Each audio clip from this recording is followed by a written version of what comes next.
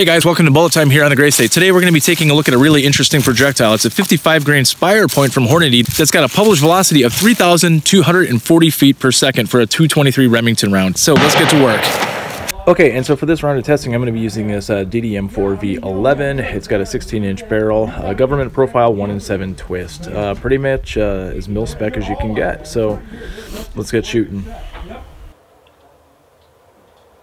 probably a mill and a half.